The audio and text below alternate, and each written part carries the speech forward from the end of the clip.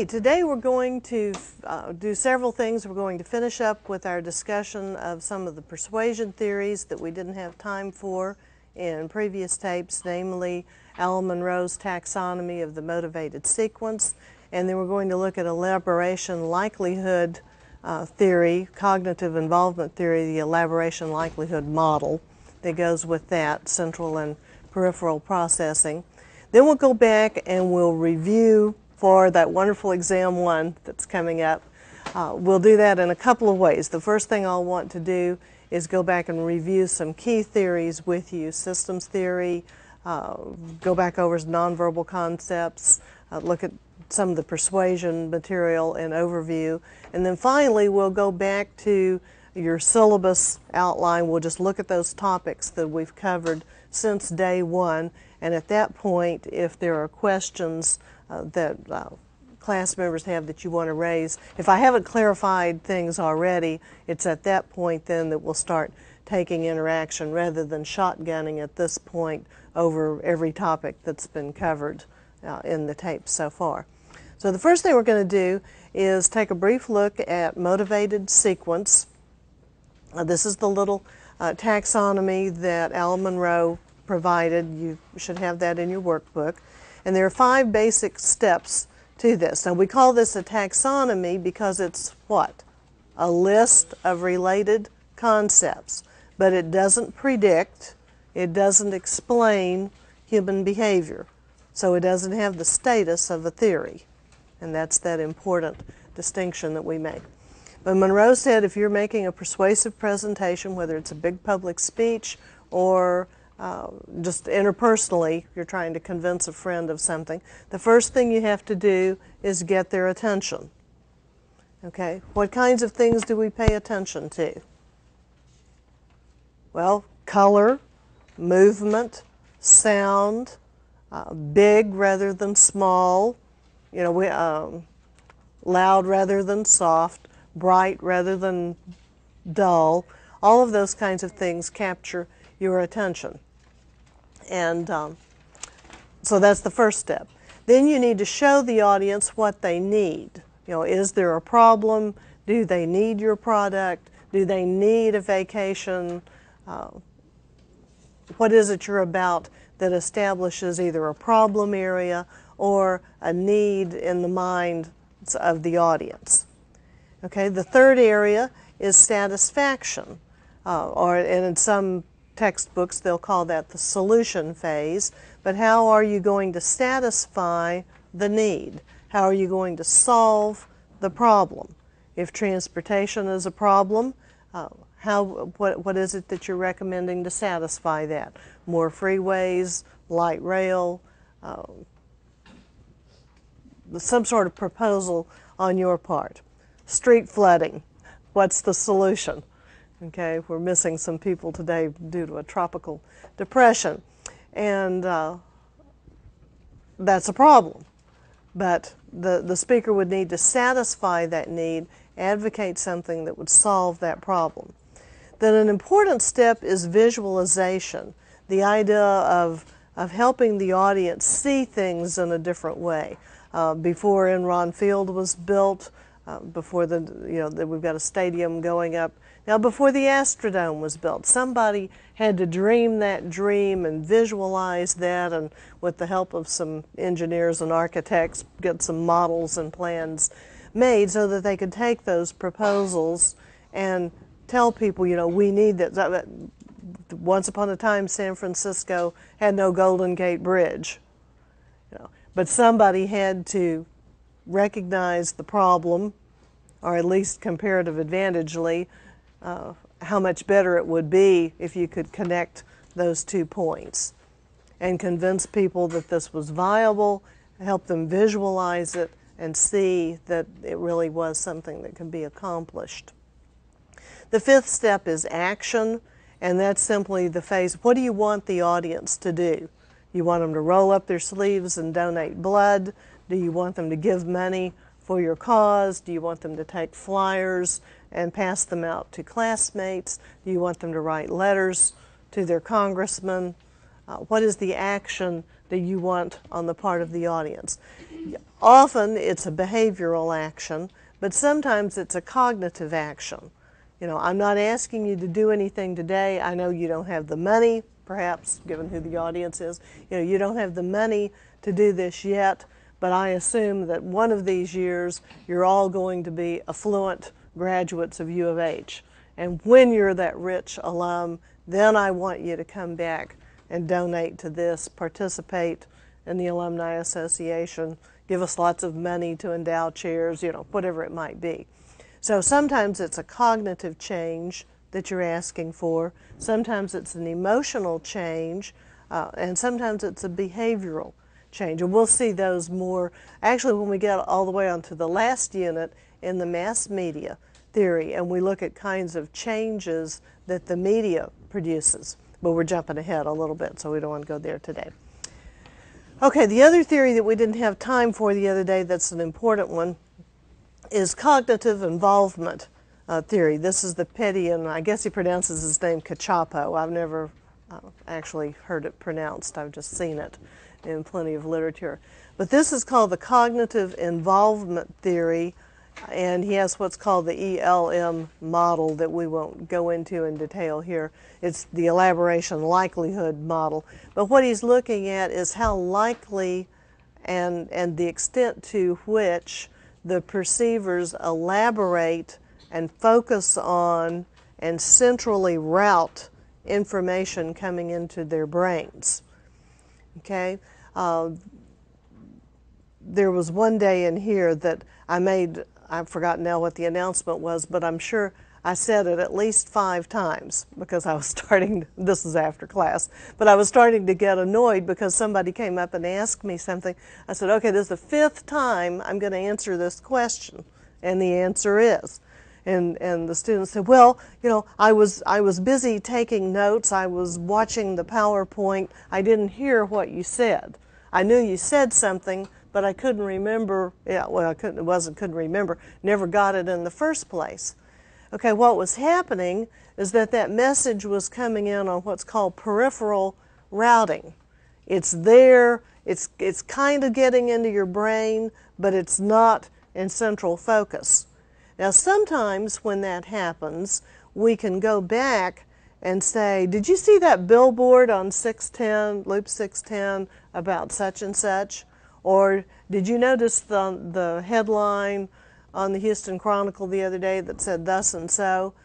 And if you stop and think about it, then you might be able to pull that out of your memory bank and say, you know, I did see that, but but maybe you just saw it in in uh, one of those, you know, put your money in the machine, buy the newspaper thing, so you you just looked at the headline as you went by, or maybe the newspaper was on a table and it belonged to someone else, and so you didn't actually read it, you just kind of saw it. You like saw it. okay. I'm not real fond of that word, but sometimes it fits. Uh, on the other hand, there are things that are centrally processed. How many of you got up this morning and watched a weather report before you got in your car? Okay, most of the class. Okay, because we have lots of street flooding as I speak to you. Okay, and, and I even watched the report, even though I live close to campus and knew that I could wade in if I needed to. Uh, I needed to anticipate how many students would be here today and uh, whether or not the students in my 10 o'clock class would in fact be there for the exam that's scheduled. So that was important information and it was centrally processed. And just as seriously as many of you were watching that weather report, so was I, tracking the storms along 59, noting that Sugarland was in deep water, uh, because it wasn't raining that much over here. It was raining enough to make it a bad hair day uh, for most people, if you have hair. But uh, anyway, I was centrally processing. I'm not picking on anybody. Okay, the shoe fits, wear it. Okay, uh, but I was centrally processing that information. And you do that when you listen to lectures. Sometimes you listen to a lecture and you're just going, mm-hmm, yeah, right. And you're tuned right in on that. Uh, but I've been an undergraduate, and I know, you know, that, that there are days you sit there and you may look attentive. Sometimes you don't even look attentive, you just go on to sleep and that's it. Uh, but uh, you know, you look attentive, but that information's really not going into the center of your brain. So obviously, which one's going to produce a better and more significant attitude change? Central, sure. Those messages that are centrally processed are the ones that are likely to be remembered, that are likely to have a significant impact on your semantic space, on your cognitive processes, uh, that are likely to produce some real kind of change. And those things that you only get peripherally uh, will be superficial in nature. Now, this is all tied into a lot of, of what I've said before and what Dr. Williamson has been saying about our needs, about our motivation levels. The weather report was important. You were motivated to watch that because that was directly relevant to you. Okay, other times you're going, what do I need this information for? You know, why do I need to study microorganisms or uh, constellations that are millions of miles away or whatever? Other, but some people know those things and, you know, have very good reason and, and good relationship and relevance to that. So, uh, often there's a combination of the two things that are occurring. You know, you, you may get uh, some messages processed through a combination of the two routes. You catch part of it on the news coming in, and then somebody will uh, relay a message to you, or you may uh, encounter someone who has additional information. So it isn't always an either or kind of thing. It may be one and then be, I mean, it could be one or the other, but it may very well be a combination of the two. Uh, that you, you pick up messages off the TV, you read the article, you know, peripheral off of the TV set, but that it's a central routing that occurs when you read an article in a magazine or in the newspaper, centrally routed when someone talks to you, peripherally routed if you're standing in a quick food line and you hear people chatting. So you can get combinations of those things. Okay, any question about uh, ELM model, cognitive involvement theory? Okay, well let's turn then back to uh, systems theory, uh, in part because it's, it's really important. It's the broadest theory that we have. Uh, we started that, with that one as an example of a general theory. And this is uh, this will also give you an idea how, if, if you did it in written form, how you might incorporate some of these concepts into uh, the paper that you'll be writing this semester. Okay, uh, this student created a Mr. Wink who is going to take you through uh, the journey of systems theory, and you know, if you haven't got it yet, well, for sure you should by the time we get through with this little visual presentation. Okay, a reminder that a system is a set of parts or interrelated parts that form a unique whole in an environment. They're set apart by a boundary. They're usually open rather than closed. And you can see a number of key terms right there that one could ask you about on an exam, terms you might want to use in a paper. Uh, system, objects, interrelated, structured, wholeness, the unique whole, environment, boundary, open versus closed. Okay, we said that the open system is the one that has exchange with its environment. Okay, and that's virtually everything that we need to concern ourselves about. There are closed systems that have no exchange with the environment. Uh, your battery operated watch, a security system, computerized security system, some things like that. But even those have, have just a hint of openness to them. The security system needs electricity. The thermostat in the room monitoring air control uh, needs the air and so forth. So the only totally closed systems are like the watch when once the battery's been changed, at least it's, it's closed for a long time. The universe theoretically would be a closed system. Why? Because there's nothing beyond itself. There's nothing for it to exchange. Even though it's really, really big, uh, there's nothing outside the universe. Well, this one gets a little philosophical. So, but anyway, the main thing is that that uh, you want to concern yourselves with open systems because whether it's cells in your body getting oxygen or plants needing water and sunshine or what, you know, all the way up through the, the simple to the complex. Okay. Uh, Mr. Wink is now introducing you to a family that we're going to apply, have a, some of these concepts applied to, uh, the Johnsons.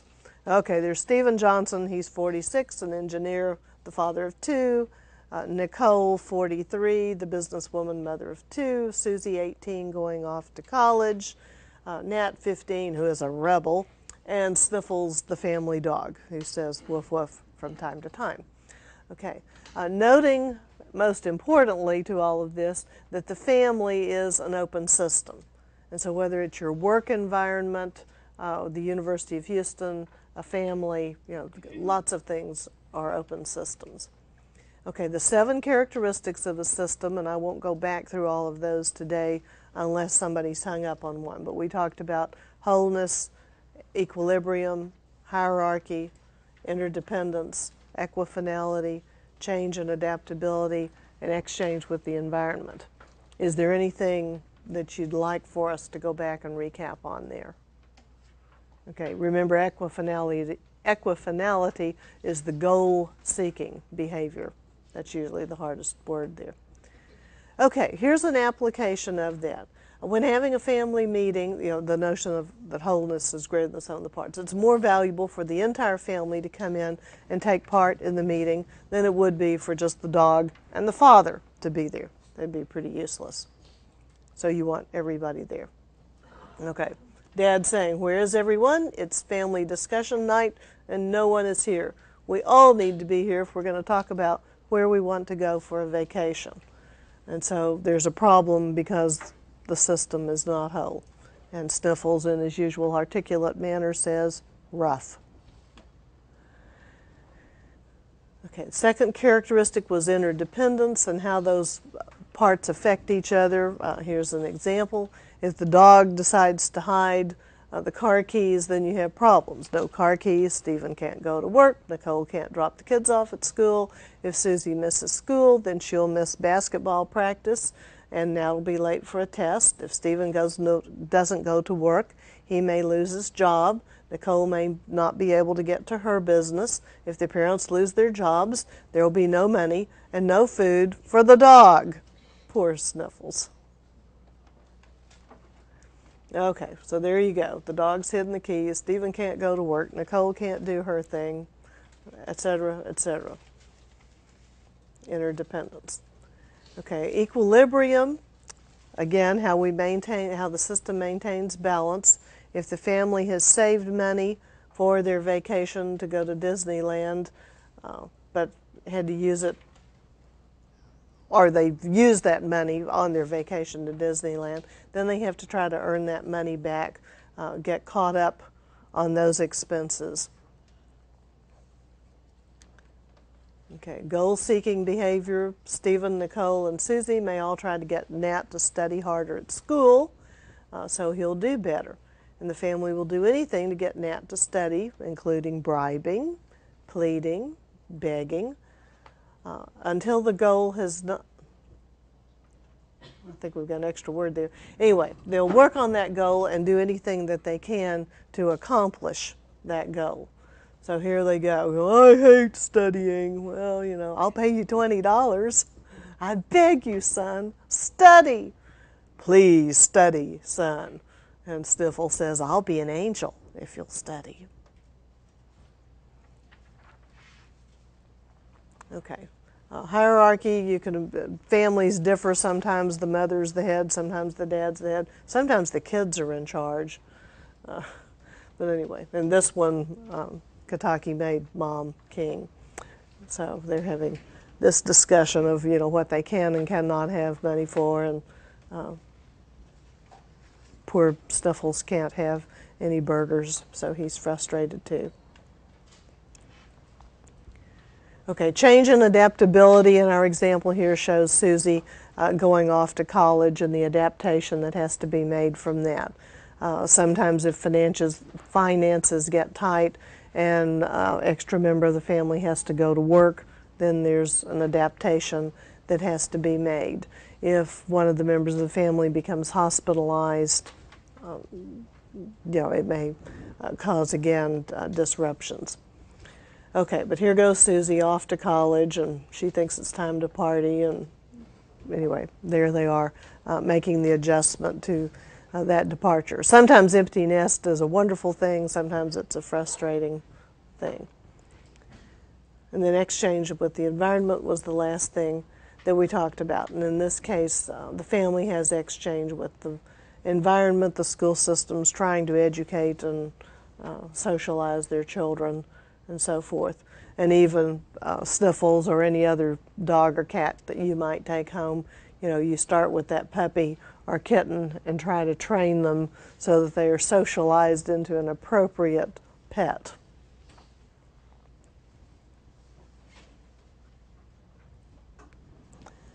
Okay, any question about systems theory while we get the next little presentation up here? That one pretty clear to everybody.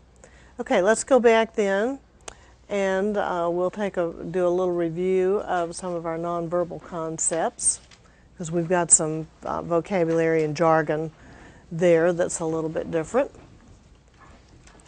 Okay, remember we talked about the word kinesics and this Whoops, got ahead there. Come on, PowerPoint, go back. Okay. Uh, kinesics, which was the study of body language, refers to facial expression, gestures, posture, not your voice. We'll come to paralanguage again in a minute. Uh, but the things that you do with your body that communicates. Okay, and that was kinesics, body language, posture, facial expression, eye movement, gestures, and the impact that those areas have on communication. Okay, proxemics was the study of how space affects the communication process. And we identified four areas that are pertinent. These are the distances that are appropriate for American culture. Okay, they'll vary from, from culture to culture. But in the United States, intimate distance is 0 to 18 inches or roughly elbows length. Uh, you know, you have to be at ground zero to kiss and hug and do the fun stuff. Okay, personal distance, which was 18 inches to three and a half feet, uh, roughly arm's length, depending on how long your arm is. But it's in that range that you pat people on the shoulder, shake hands, do things that are personal that may involve touching, but are not as personal as intimate. Social distance, 4 to 12 feet. Any problem with that? Okay, and public distance beyond 12 feet. You, you usually are that far away if you're, quote, making a speech of some sort. But you don't stand beyond 12 feet uh, trying to be friendly and sociable and discuss your vacation plans or whatever.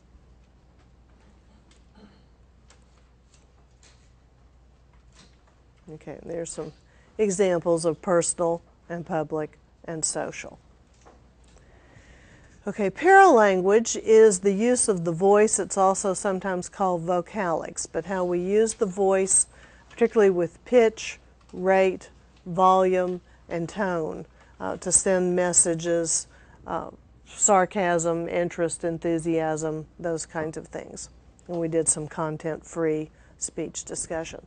Artifacts, artifacts are not the fossils that the archaeologists dig up, although you could kind of make a, a parallel metaphor to that. But the artifacts are any objects that communicate. Uh, an open umbrella, you know, you look out your window and it looks pretty sunny outside, but you, but you see people with open umbrellas, then uh, you may wonder if it's one of those days when it's raining when the sun is shining. And uh, that takes you to cognitive dissonance too, because you need to figure that out. But anyway, objects that communicate, whether it's uh, logos, brand name labels, the kinds of cars people drive, the type of furniture that they have in their office, uh, art objects that are on the walls, those kinds of items. Okay, and we talked about touch, which is also called haptics. uh, the importance of that and uh, how it's an important element in human communication, that people need touch. And we'll come back to that theme more as we develop the interpersonal communication material. Chronemics was the study of time, how time influences communication. You know, there's some things you don't get there on time, you just miss them, uh, like your class, okay, or an appointment that you have, or a job interview, or a, your favorite TV show. You know, that you can't call the network and say, oh, well, you know, it just wasn't convenient for me to uh, watch my show at 7 p.m. Would you run it again for me at 10 p.m.? No. you know. Now there have been some instances I'm told where where the programming has preempted the soap operas and that freaks out so many people that they actually run them again at 1 a.m. or something so people can stay up and stay stay up and watch those. Sometimes of course the programming is just delayed by half an hour or so, and that's a different matter. But chronemics are, are we, of course, as Americans, are a very time conscious, timeline uh, oriented culture, but in other places it's much more flexible. And we talked about uh, the notion of owls and larks, that there are those people who stay up late and can't get up in the morning, and then there are those people who fall asleep by 9.30 or 10 and they're up bright and early and I'm one of those larks. I was on campus by 6 a.m. today, you know, to make sure I had it all together. Yeah, a couple of you look surprised. Some of you are here but not awake yet. Uh, that sort of thing. Well, you're owls, and that's okay. You know, it takes all kinds of folks to make the world work together. We just need to be careful. We don't, you know, owls and larks shouldn't be rooming together unless they're really kind and considerate and so forth. Okay, we talked about other environmental factors too that uh, influence nonverbal communication. The color, the comfort, the temperature in the room, uh, how comfy the chairs are or are not. Uh, restaurants are a good example of the environmental factors. If you think about the difference between fast food restaurants, mid middle of the road price comfort restaurants and then those places where you go and blow $100 a person in an evening and have lots of ambiance and stay for hours and so forth.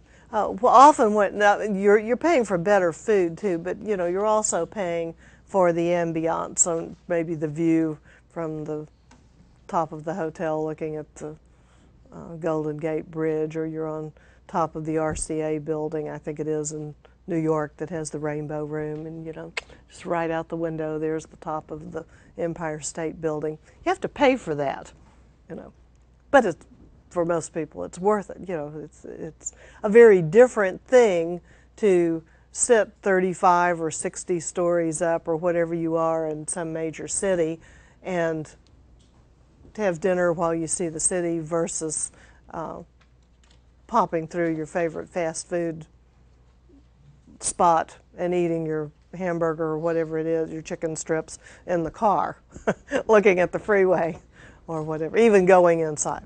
So anyway, color and atmosphere are very interesting. We spend lots of, uh, to the extent that money lets us, we spend a lot of our money trying to create the right ambiance in our apartment or in our home or in our office because the and then it, and it ties back into artifacts because we choose those objects that we believe will communicate to the people around us. Okay, that finishes that review. Uh, let's go now to persuasion. Kind of recap some of this. And then we'll be throwing it open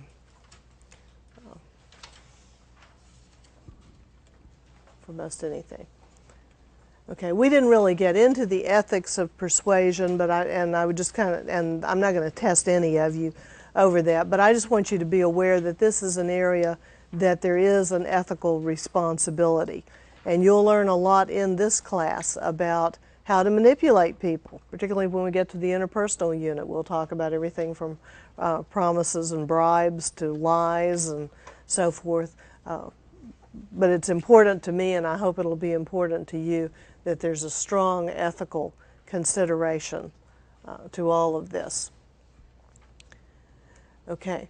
Uh, one good way to figure out whether this is a, is a persuasive message or a brainwashing is to ask yourself, uh, or coercion, you know, I think we said uh, in one of the earlier lectures that you can kind of view this persuasion process as being a midway point between suggestion and coercion. Well, one of the ways you know you're in the persuasive domain is if you actually have a choice. Okay, if somebody's holding a gun to your head, you know, how much choice do you have? Okay. Um, would you feel comfortable if you were the recipient of the message instead of the sender? If somebody were doing this to you, would you be comfortable with that? Okay, types of persuasive context or situations, presentations. We hear sales presentations, we get phone solicitations regularly, uh, but people make proposals in the work environment. Uh, there are motivational speeches, there are goodwill speeches. All of those, put those back up a second, all of those are kinds of uh, situations that we find ourselves in where people may be delivering persuasive messages to us, trying to get us to do something, to change our ideas, change our behavior. We talked about that. Okay, some of the specific strategies, and you'll see some overlap between this unit and the interpersonal unit, but appeal to the needs of your audience, and that takes us back to Alan Monroe and the taxonomy that we were talking about earlier today. Have a realistic goal. Uh, I've had students in, in persuasion classes or public speaking classes making persuasive speeches be frustrated because they didn't accomplish the goal that they had for the audience. They wanted everybody in the class to sign an organ donor card on the spot. Well, if you haven't thought about that, and probably your generation has thought about it more than students 10 years ago or 20 years ago had. But if you've not thought about that ever, the first time you cognitively process that information, you may have some reticence.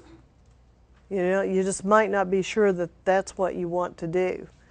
And so if you're trying, or if your goal is to get everybody in this class to give you, to, to sign up at least and promise to give you $5,000 for cause X before they leave today, how likely is that to happen?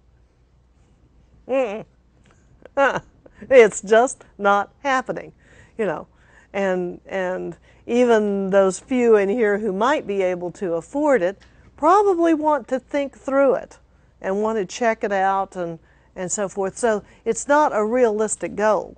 Now, to make you aware, to get you thinking, to say, this is really what I want you to do, but I don't expect you to do it today, so just breathe. You know, but please, seriously, because that might be a viable approach to say that I want to increase the awareness of my audience about whatever it is in anticipation of planting that seed and um, accomplishing something long range. Uh, a good strategy focuses appeals on the critical audience segment. Uh, don't preach to the choir, is kind of what this is saying. You know, if you're making a persuasive presentation, then the focus needs to be on those people who have a very different viewpoint from your own. Not so different, remember what Dr. Williamson said last time, not so different that it's going to backfire on you. But those people who over in that moderate range who uh, sort of agree with you and you want them to really agree, or those people who kind of disagree with you but with some good reasoning and evidence could be persuaded to shift. And she talked with you a lot, remember, about how in any given audience like this one, there's a lot of latitude in the attitudes of the people in the room. Uh, sometimes there's also latitude in the individual attitude. That while basically you're for or against capital punishment, or one I like to use, uh, most of you have an opinion you're either for or against uh, birth control and, and certain contraceptives. Okay, uh, and maybe take something like the morning after pill. Now, some of you would be totally opposed to that. Others would say, no, I'm in favor of that.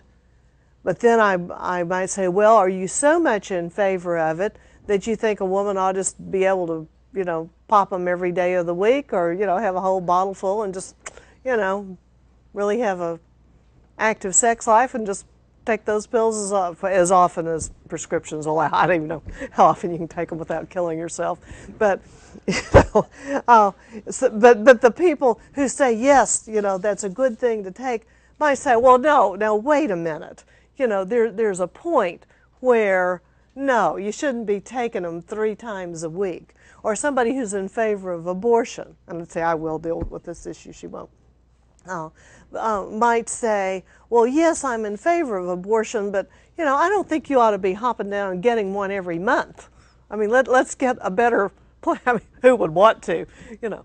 But but there should be a better plan here. So even though my attitude is a particular thing, it, if I have to check a little box on a seven point scale and say, today, this is where my attitude is, chances are, if you got to talking to me about that, you'd find out, well, it's essentially here, except, and we put some qualifiers on that uh, so that.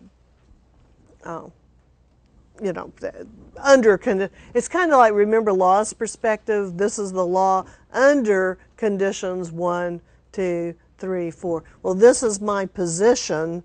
That doesn't make my position a law, but it's the same idea of putting conditions on a perspective or on a point of view. Okay, you sometimes defer the thesis with a hostile audience. That just means don't tell them at the beginning what you want you know, all that garbage you get over the telephone with the solicitations, how you've won something or whatever, you know, they, they're usually uh, deferring their thesis because what they want is for you to buy something. But they don't start out and say, I want you to spend $5,000 for siding on your house. Because I would say, no, thank you, and hang up. But you know how the spiel goes. We're, we're working in your neighborhood and we'd be happy to come by and give you a free estimate. There's no obligation. You know, there's always an obligation. But anyway, we'll, we'll, I won't get on that soapbox. But sometimes you need to defer your thesis. Okay, you want to present ample evidence. Um, although, interestingly enough, enough, evidence is not always statistics. You know, sometimes people think you're you're only presenting evidence if, if we've got the hard cold facts, if we've got the data to back it up. And certainly that quantitative support is an important part of the message. Okay? But one of the things that, that we've learned through all this persuasion research, and uh, you know, there's lots of research going on as we speak, one of the things people like best is narrative. And remember the day we talked about uh, fantasy theme analysis, analysis and Fisher's narrative theory and so forth. People like to hear stories. Don't you like it better when I'm telling you a story? When I'm giving you an example, you almost feel like I'm not lecturing. Well, it's not true. You know, you probably enjoyed Dr. Williamson, but the part you enjoyed the most was the stories. Okay? People like stories. And if you think about how much of any given day of your day that you either spend telling a story or listening to a story. And we like for people to tell stories well, too. We don't want that, but storytelling is another whole course you can take. Okay, uh, but we, you know, you can't drag the story out too much. You can't ruin the punchline. You shouldn't provide too many details. You shouldn't upstage the other person from telling their story. And you know, there are there are lots more rules than that, but that's just a little sampler. Uh, but we but we learn and we're persuaded by the narratives that we hear. You know, uh, there was some poor lady on the news, I guess, was night before last maybe. Anyway, who driven. She was not from the Houston area. She'd driven her car into deep water uh, she or she she went to the the uh, grocery store and the water rose so fast and she hadn't that's what it was she didn't drive into it. But she came out of the store and her car was under well not totally but you know too much to drive. And she had no idea that that sort of thing could happen. Well if you've lived around here you know that kind of thing can happen. And you know which intersections tend to flood and you know which ones to avoid. But a lot of that you didn't learn directly Remember when we talked about semantic space and Osgood, the cobras and the snakes and death and those things? Uh, a sign. See how these theories come together and help each other? I'm really not off on tangents. Uh, this is an integrated application of what we're talking about because we learn these things indirectly. And those things we learn indirectly we call assigns. Okay, but we learn them indirectly often because of the stories or the narratives that people tell. And so often, we're, part of our evidence is that we're persuaded by uh, the story that's told. And if there's a good, you know, in Aristotle, we just had Aristotle, pathos, ethos, logos, okay? Uh, but one of the things he said you can do too is give examples or tell stories. And when you get a really good narrative of a harrowing traffic accident, uh, a dramatic flood story, uh, a bizarre case in the registration process around here, uh, a story of a fantastic sale that's on at the mall.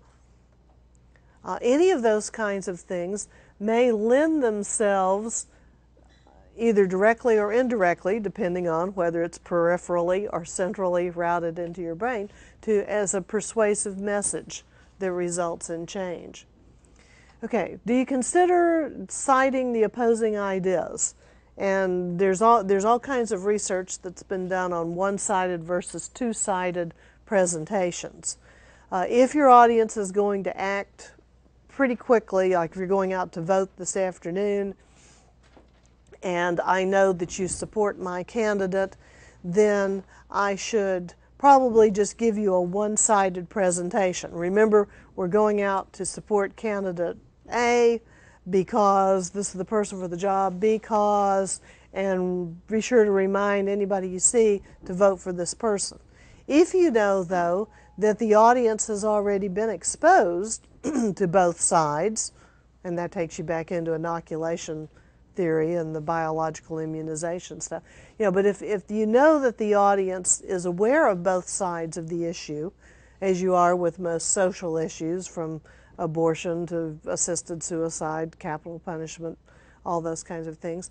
Then a two-sided presentation is usually better because this lets the audience know that you've looked at the other point of view and that you're not just being a narrow-minded, narrow-focused, pig-headed fanatic about your topic, but you really have examined all these issues from different perspectives and uh, and particularly if you can use a refutational style and say, I've looked at these three arguments, and I know some of you support that point, you know, th these points of view are important to you, but number one, I don't go along with because, and number two, I can't support because, and number three, especially, there is evidence that's contrary to that, and I want you to be aware of that. So, you know, let's look at these four reasons four reasons for doing whatever I'm advocating, and you go back and reinforce those. So citing that opposing viewpoint is often important. Uh, you adapt to the cultural style of your audience. Uh, is this a very formal occasion? Is this informal? Uh, you're just, if you take an actual performance class, then we'd spend more time uh, worrying about those things. But it's kind of the when in Rome, uh, do as the Romans do. We've talked a little already about appealing to the needs of your audience. Most of you are familiar with Maslow's hierarchy of survival needs all the way up to self-actualization and you want to tap into as many of those as you particularly can. I was talking with you a while ago about satisfaction, how the satisfaction step solves the problem, and uh, it's going. Okay, social judgment theory, uh, I talked about, Dr. Williamson talked about. So this is kind of a recap of what we've done already, and I won't go back uh, through it. Just recognize that there are latitudes of attitude of acceptance, rejection, non-commitment. The and this is all in your workbook too, so you shouldn't need to write it down again. Okay. Uh, your ego involvement and, and uh, uh, salience and intensity make a difference. Okay. Credibility we've talked about. You want to maximize your credibility by showing your competence, earning the trust of your audience, showing how similar you are to the audience. That will increase your appeal. Appearing, being sincere would be appropriate, not just appearing sincere, but demonstrate that you're sincere about this issue. Okay, um, let's move now to our general review and just see what you would like for us to recap on here. Okay, the first thing we talked about back tape one, lecture one, was the communication process. We talked about transactional, linear, interactive communication. Anything we need to go back and clean? You remember the differences between those three? Okay. We talked about source, receiver, feedback. Any question? Okay. This was the easier part of what we were doing. Verbal and nonverbal messages. Uh, we've recapped nonverbal today already. We'll get back up to verbal coding again in just a minute. So if you have some specific questions on those theories, we'll uh, take those then. We talked about channels, noise, internal noise, external noise. And then we moved into a discussion of theory. Okay, and we said that for our purposes especially, it's important for us to develop a scientific attitude. Whether or not you actually go out and conduct research may depend on uh, whether or not you become a graduate student who needs to write a master's thesis or something. Uh, so some of you will actually do quantitative uh, or qualitative research, but uh, others of you uh, just taking an orientation toward your life and toward the events around you that are that's a scientific attitude can be useful in helping you analyze those situations, assess the situation. We looked at three perspectives systems, laws, and rules. Uh, the laws perspective attempts to uh, emulate, copy what the, the hard sciences do, and set, whether it's a law of gravity or, or uh, Big Bang theories or whatever. Uh, we try to, we have certain laws within human behavior. Uh, we haven't gotten attribution theory yet, but things like people will systematically assign causes of behavior. People will discount one cause if other causes are plausible. You know, those have the status of laws. And so we've seen some things like that. We've spent a lot of time on systems theory, not going back there again. Uh, uh, a statement like people will seek information in order to reduce uncertainty. Okay, that, that's up there at the laws level. That's people just do that. You know, I figure as soon as we stop taping, then you'll have lots of questions about uh, upcoming exams in order to reduce your uncertainty. But some of these folks are camera shy. Okay, rules perspective, we've talked about looking rules, conversational rules. Uh, there are lots of rules, and a lot of what we do in human communication is rules oriented. It's not as strong, the, the force behind the theory is not as strong, but that's because people are actors as well as reactors. We react in some situations, but in many situations, we're the actor, we're the creator. And as such, we have a choice.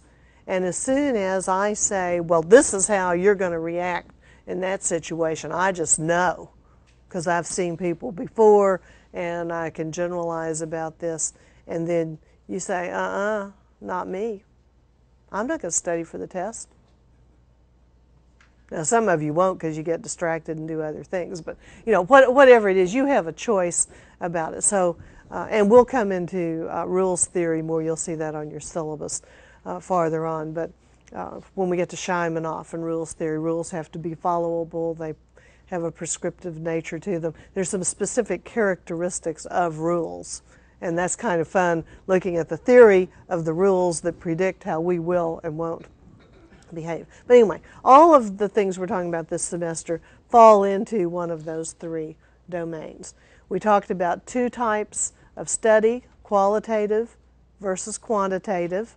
Qualitative, remember we talked about Blumer and Kuhn, and we'll see their names flash by here again too in a minute. But there are very legitimate research projects and studies that are qualitative in nature that may involve uh, reading old diaries, reading collections of letters, uh, historical papers, uh, propaganda studies.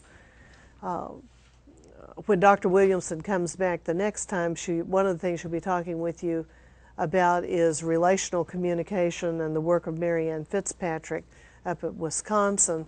And what, what they've done is developed some marital typologies.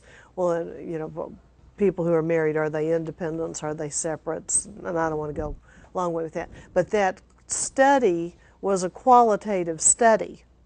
Okay, it involved uh, tape recording and transcribing many, many hours of conversations between couples. They gave them certain topics to discuss and then let them go for 30 minutes or so. Transcribe that, analyze that, and then based on things she'll explain to you, classified them according to these marital typologies. Well, that's a qualitative humanistic approach, whereas uh, the quantitative approach is the Scantron, fill in the data, generate the statistical analysis, analysis of variance of the independent and dependent variables, and those kinds of things. Okay, taxonomies, theories, paradigms. Got those words straight? Paradigm, what's paradigm? Uh, paradigm is a theory that it's, it's bigger and more important than the, th or it's a theory that shapes your worldview might put it that way. It's a theory that's so important that it's, it's the modus operandi for the situation. The Big Bang Theory is the paradigm for most scientists for how the world was created. Uh, one book classified the, the Stephen Littlejohn Theories of Human, Human Communication book, which is also good outside reading, in addition to Heath's book that's on your syllabus uh, distinguishes between what he calls worldview one and worldview two. And in one case, it, one views people much from the stimulus response behavioristic reaction standpoint, that, that primarily people function as they do because they're reactors. Okay? But, but then a different paradigm says, no, people are creative, they are actors. And you can't have but I mean, you can say, well, part of the time I'm an actor, part of the time I'm a reactor. But even when you do that, you're subscribing to the actor school of thought more than the reactor school of thought. Anyway, your paradigm is your way of, of seeing the, the world. Consistency theory provide, is a, a paradigmatic, I'm saying that right, but anyway, is a theory that makes a useful paradigm for looking at the way people respond in a variety of situations. Taxonomy was just a list. Okay, we talked about functions of theories, and the flip side of those functions is how to evaluate the theory.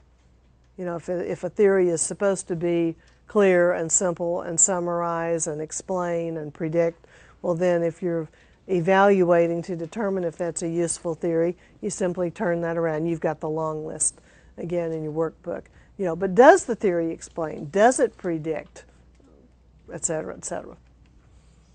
Okay, and then we looked at specific theory, systems theory, which we reviewed today because it's one of my favorites and it's, it's probably the broadest one that we will consider this semester, and it has such applicability across a variety of contexts.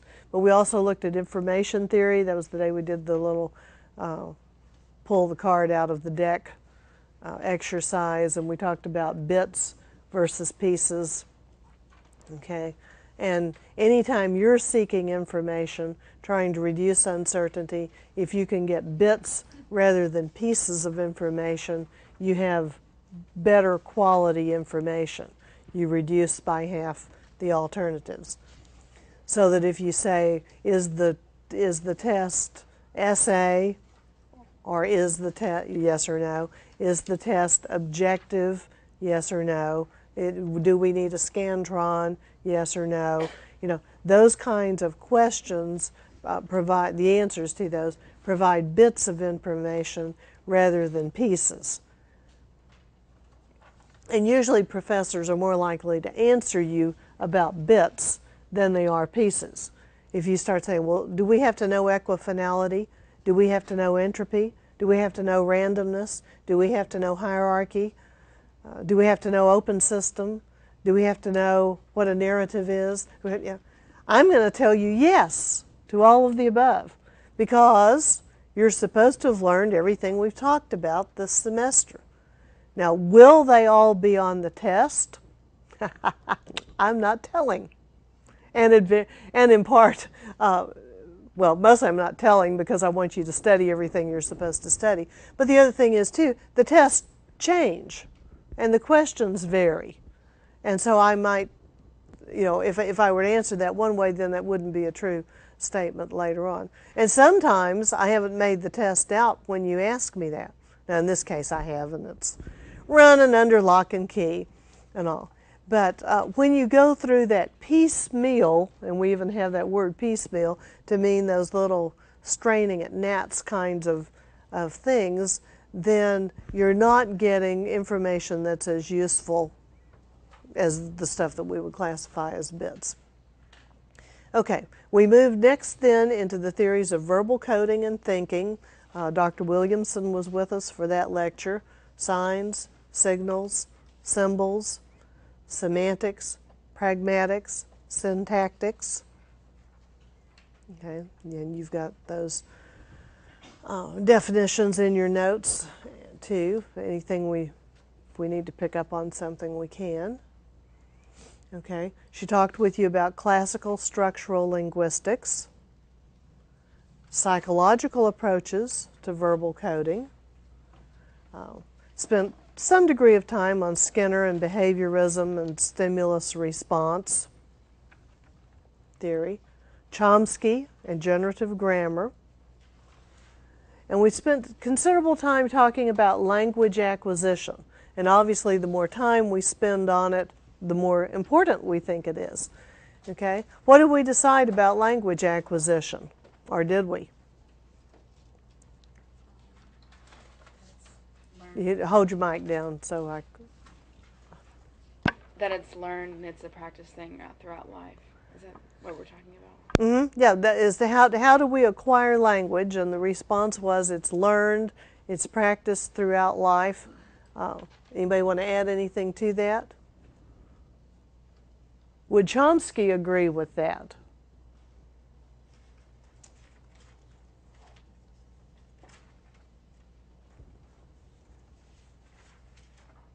going to be a long weekend, folks. okay. Chomsky, pardon me, Chomsky would agree with, with a good chunk of that, but what did he also tell you in generative grammar? That there are deep structures, there are surface structures, uh, there's, there's more to it than just mimicking and reinforcing or being reinforced by the things that are in your environment. If you could only speak what you had heard spoken before, that puts you into one of these loops, then, and then we would never be able to communicate at all. Because the people who are trying to teach you the words couldn't teach you because they wouldn't have learned the words because there was nobody there to reinforce them. So at some point, uh, there's, there's some degree of innateness some degree of inherent ability to manage language that we come packaged with. Even though in infancy, a very important part of language acquisition is learning to name things. That takes us back to Kuhn and the naming of objects. But an important part of this is learning to name things and learning the names of those things. Okay? But still, you are able to uh, express yourself, to have novel sentences, novel utterances, as he called them, that are unique to you. People think thoughts that and express thoughts that nobody else has ever expressed. And so, if it was all 100% learned, then that would not be possible. Okay, we got into theories of thinking, and again, the behavioristic versus cognitive approaches. We looked at Bruner's notion of a concept and uh, how that gets formulated. Looked at that little tote cybernetic model of uh, test, operate, test, exit. Uh, and we talked about how, actually back under cybernetics, but it, it ties into this approach, of how our brain functions as a cybernetic mechanism. How you have the, the uh, control center with the uh, sensor, the comparator, the activator, all functioning in there. And, and whether it's the computer system that's doing this sensor, uh, sense, compare, activate process, or whether it's your brain that's doing that. Uh, is working as a control mechanism. It's providing feedback for you positively or negatively about whether or not you need to continue on the path that you're going or whether you need to change that behavior, negative feedback, and deviate and, and change directions. We also said that positive feedback may involve maintaining a deviation, but if you're deviating in the right direction, you know, you've got I think Dr. Lee was telling me that he's got 10 exams, little ones. A couple of you went into shock out there. Uh, he has 10 exams, 10% each in his class. So you've got lots of room to, you know, go up or down or shift direction and so forth. But you start down in the 70s and work your way into the 80s. You're, you're going in the right direction and you want, and that's positive feedback that says keep deviating if you're making 100s from the very beginning, you don't want to deviate. That's positive feedback, but it says stay exactly on the track that you're on. So, uh, negative says change your direction, positive says keep going in the direction that you're in. Okay, talked about Piaget and the developmental school, the importance of reversibility, and uh, how that's fundamental to developing thought processes. Uh, we talked about Dewey and the reflective thinking pattern, and that's a good one for you on a day to day basis. Uh, well, I mean, I guess all of these are in one sense or another, but uh, some have even more practical day to day kinds of experiences, applications, on experiences, day to day applications to them. But that reflective thinking pattern said what? You're going to identify the problem, you're going to assess the problem, uh, look at causes, effects, whatever the ramifications of that may be. Uh, you're going to list some possible alternatives, some possible solutions to the problem. I always think it's a good, and I think Dewey said this, but I know he said you need to establish criteria for your solution. And I think it's a good idea to establish the criteria before you even start to look at the possible solutions uh, or the possible choices. Sometimes, if you get into the choices first, then uh, you get ego involved in the in the choice. You know, well, it was my suggestion that we have an outdoor party at the Hermann Park Rose Gardens in early May. Well, that may or may not be a good plan because of lots of reasons. But if you go back and set up your criteria first, It needs to, you know, if we're planning a party, it needs to be something we can afford. It needs to fit within a certain timeline. The space needs to be large enough to accommodate the group. Uh, temperature and weather could be a factor. Uh, you know, one of the worst weddings I ever went to, it it was happy as far as the couple was concerned, but it was outdoors in the botanical gardens in May. And there were mosquitoes everywhere. Now, I guess they had anticipated this to a point because they had citronella candles and they had off spray. You know, there, there were things there to presumably offset that disadvantage. But it was a very strange. Actually, you made some new friends, you know, because you had total strangers who were saying, "May I?" you know, and just, sure, you know, and smack, you were slapping each other on the back, uh, killing bugs, or uh, you know, here, would, would you just take this can and spray me down, please? You know, so it was it was different. Okay.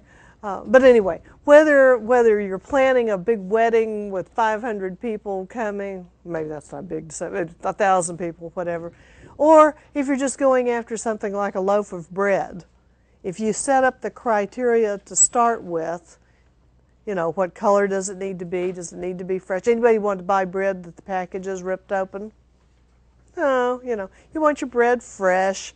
You want it in a certain price range. You want it a certain flavor uh, it may need a particular shape if you're making sandwiches or if you're going to turn it into garlic toast or whatever.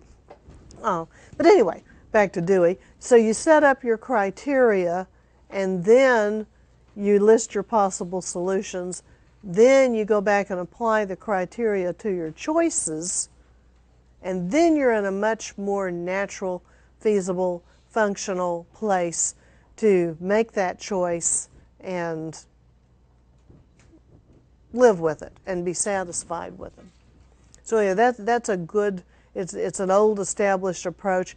Again, it's a taxonomy rather than a theory because it won't predict what people will do.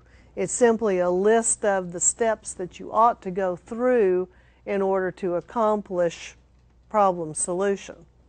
Okay, so see that difference between uh, things like attribution theory and rules theory, th some things that predict versus uh, those things that are, are simply useful lists that we can use as guides for accomplishing whatever we're trying to accomplish. Okay, theories of meaning. Uh, we looked at Boulding's notion of the image, how we all have that view of the world that we carry around with us. We have views of other people. We're going to see this theme carried through even more uh, when we get over in the interpersonal unit and start looking at, there's a word called schemata, uh, there's Jesse Delia's constructivism. Uh, anyway, this, this theory is kind of a root theory out of which others build and grow and are similar but more sophisticated that have to do with how we develop our view of the world. And that's important. And well, I don't want to jump ahead yet. Okay, we looked at the Ogden-Richards triangle of meaning. Remember up there at the top was the thought, the symbol, the referent, or real object. There's a broken line across the bottom because there's an arbitrary or imputed relationship between the symbol and the real object. Okay? There are causal relationships but not everywhere. The thought can cause the production of the symbol. The symbol can cause or produce the thought. The real object produces the thought. It's hard to look at this red pen and not think about it, but you can think about it and not produce it. So that side of your triangle is not two-way causal. You can think about breakfast, but you know, it won't appear. So the object produces the thought, the symbol produces the thought, the thought produces the symbol, but the thought does not produce the object or real thing. And then there's an arbitrary relationship, depending on what language you're using, uh, between the symbol and the object. Okay, we talked about Osgood semantic space, the three dimensional space that we all carry around up there in our heads, uh, and, and those three factors of activity, potency, evaluation, and we place things up there as being good or bad, weak or strong. I just forgot one. Anyway, the other one active or inactive. Okay, and so whether it's the moon or cobra snakes or thunderstorms or lightning or poodle dogs or our mutual friend, you know, virtually everything that you have a concept, a conceptualization of, for which there is a concept up there in your brain, it's rated on those three dimensions the color pink, the color lime, the color red, the color black. And there's some, and on and on, you know, throughout the rainbow of colors. And there are some of those things that we share, that we, we place similarly in our semantic space. Okay? And then there are other things that we place differently. And understanding where your audience, this ties right back into persuasion theory, understanding what kind of semantic space your audience has, you know, will help you decide what kind of message you want to construct, what kind of message you need to construct. If we have things in the same place in our semantic space, then we're likely to be agreeing on issues. And that's a very different thing, of course, than if we have placed those things differently in our semantic space. And, and if we have real different cognitions about concepts or issues, you know, George Bush Sr., is famous for his statement about hating broccoli. I don't know if there's anything we could do to convince him to eat broccoli. You know, but there are others of us who love broccoli. And and so that poor little passive green vegetable is placed differently in cognitive space, but uh, in semantic space, placed different cognitive, placed differently cognitively. Okay. So anyway, that's a very important model. Both of those models are important. I sometimes ask folks to draw the diagram on the exam, talk to me about it, uh, explain it. The way I come at it varies. You know, but, but these are very useful, they're very applicable, they explain what's going on in terms of uh, how we process meaning, how we decode messages and place that meaning in our cognitive space, and that in turn affects our ability to encode messages because you're reaching into, via your thought processes, you're reaching into your brain, into the meanings that you filed up there to pull that information out in order to create a message. Okay, we talked about the linguistic relativity principle, the Sapir-Whorf hypothesis, which says the language of our culture, the language of anyone's culture, shapes their view of the world. And we talked about Hopi Indians with present tense verbs. Um, uh, we talked about the beehive cultures that would have difficulty in, in a room like ours with uh, lots of rectangles. There's another short but interesting example of, a, of an Eskimo tribe that, I did we talk about Eskimo tribe that nearly starved to death? I don't think we talked about that one. Um, uh, this is a case where, where the language and thought processes of the culture, and, and this is reported in a little journal article, but the, uh, this particular tribe was not problem solution oriented in its thinking, the way we just talked about all of Dewey's steps. And so the tribe almost died out because, and this is like 100 years ago, uh, but they almost became extinct because it was a bad year for food. You know, caribou crop was down, or you know, the herd didn't come where it was supposed to. But the people went right on eating the same foods at the same rate that they normally did, and then they ran out of food, and their people starved. Now, our natural instinct as Western thinkers, as products of our culture, would be to say, well, why didn't they go fish?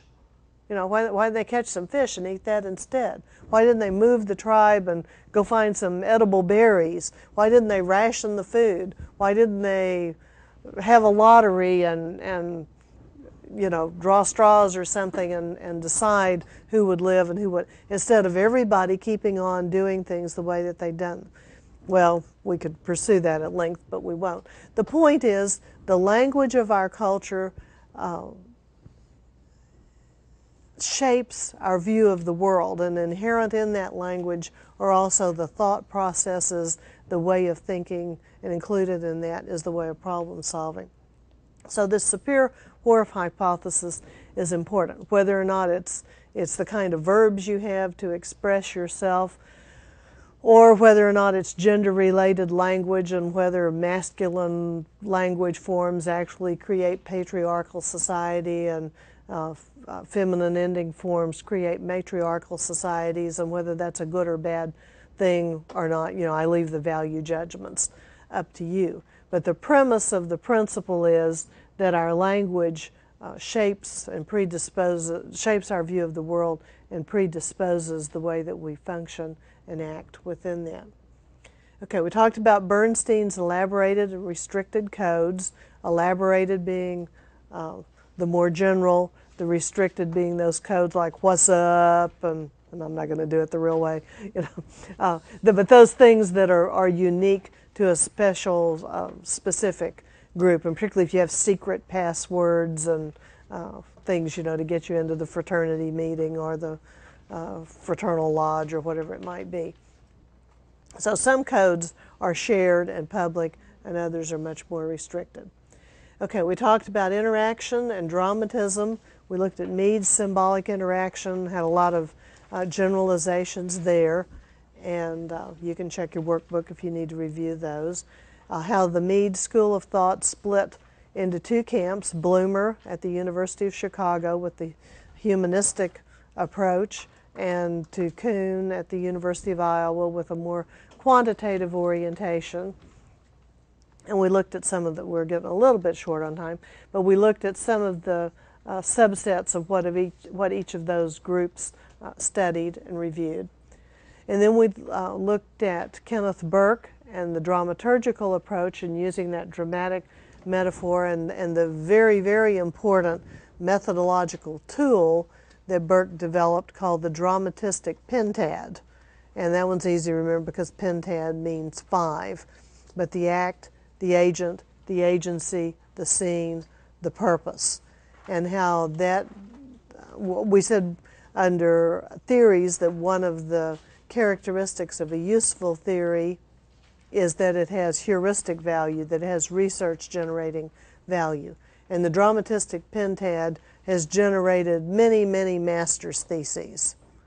You know, by taking act, agent, agency, scene, purpose, you don't have to do them in that order. You could start with the scene and the purpose, or the scene, and then you'd probably start with the act and do the scene. And but anyway, you can take those five in whatever sequence makes sense to what you're doing, and uh, develop a chapter on each one, add an introduction and a conclusion, and you know, there you've got a pretty hardy master's thesis if you wrote enough on each subject. But anyway, it's a good way to, even if you're not writing a thesis, it's a good way to analyze a situation, whether it's a, a community disaster or a presidential debate, whatever the case may be. Okay, we looked at narrative theories of Bormann and Fisher, uh, things like fantasy theme analysis, and today I've already been talking about the importance of the narrative, uh, both as a form of social individual self-expression as well as uh, in persuasive contexts as a means of persuasion. Okay, then we looked at general semantics, Korzybski and Johnson, uh, things like non-identity, non-allness, uh, dating, indexing, some of those concepts that they provide for us to help us understand how language works, how language represents something other than itself, just like the map uh, represents territory, but it's not the real thing, and how the map can't represent all of the territory, and so language can't represent all that there is to know about a particular situation. So that mapping analogy is a good one that comes out of that. But any any question about those concepts? I think we were hurrying a little bit the day we were finishing those. Okay, well you've got them defined uh, in your workbook if you need to go back through and, and double check on those two. Okay, nonverbal coding, we reviewed that today, kinesics, proxemics, paralanguage. Uh, and Friesen's functional theory was the one that looked at the origin and the coding and so forth, the source, the origin coding of the uh, gestures like illustrators and emblems and so forth, and, and how those are used to code and function in particular situations. And Dittmann's theory of emotional deviation was the one that said uh, we look at deviations from what is normal. We look at uh, what's the usual behavior of a person and compare that to what we see at any particular point in time. Okay, and then we look for changes in those behaviors. Okay, we looked at Aristotle and classical roots. McGuire gave us a definition of attitude. Uh, we looked at the relationship between beliefs and values and attitude. We looked at consistency theory.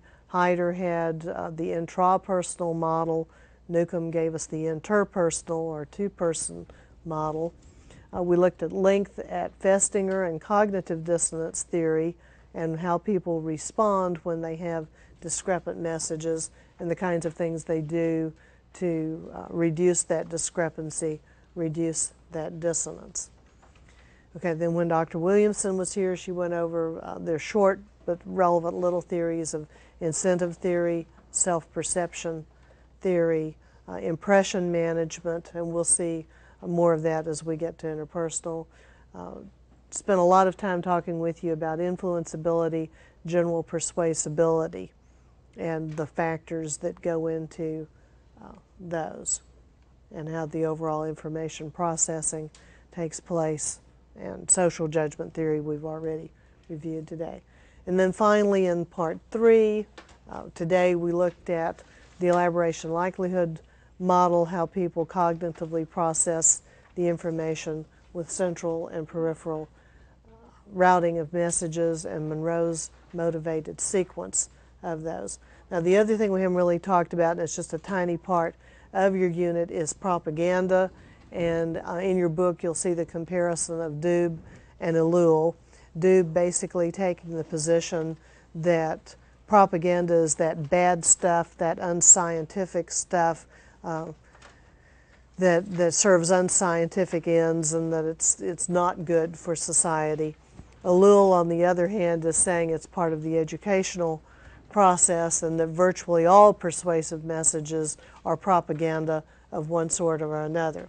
Now, this is one of those places where the theories don't fit. You know, we said a, a useful theory is one that fits in with existing knowledge, existing evidence, and just blends in and sheds additional light. This is one of those places you have to choose.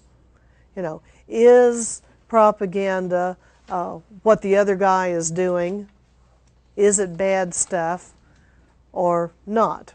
Uh, when corporate structures mail out a whole packet of, information, you know, they're, they're out polluting water or they're cutting down the rainforest, but then they send a packet of materials to the elementary school teachers to tell them all the wonderful things that their corporation is doing for the environment. Well, is that educational or is that propaganda? Hmm. You know, and I won't try to settle that one in two easy steps today. But it's a judgment call that you have to make as the consumer, as the listener. You have to decide where are you going to put that word propaganda up there in your cognitive space. You know, uh, I did an analysis of George Wallace's 68 1968 presidential campaign and uh, started, it's my doctoral dissertation if you're ever really bored and want something to read. Uh, but, but one of the things I did is make a list of propaganda techniques and then apply those to Wallace. But, it, but my position at that point in time, and kind of still today, is the propaganda is the bad stuff. And it doesn't really matter where you place it, except it's useful to me to make a distinction between the two.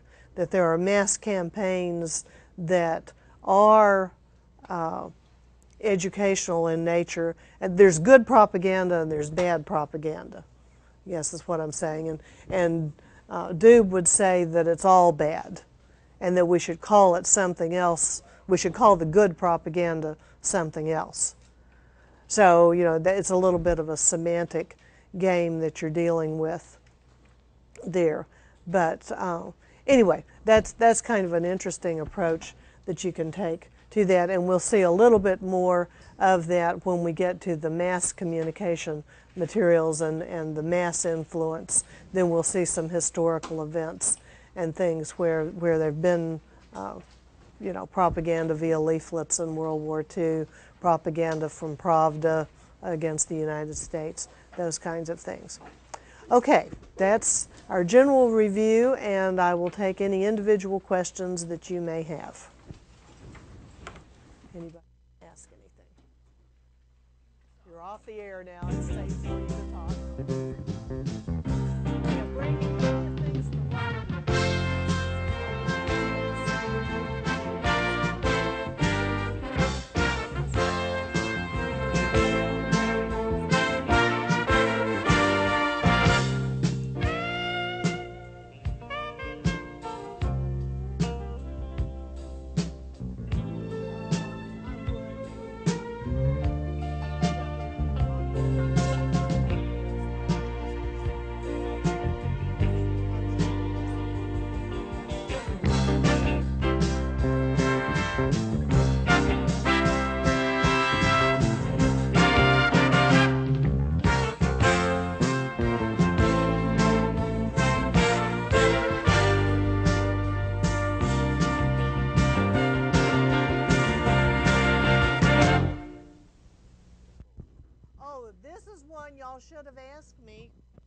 I will not test you over the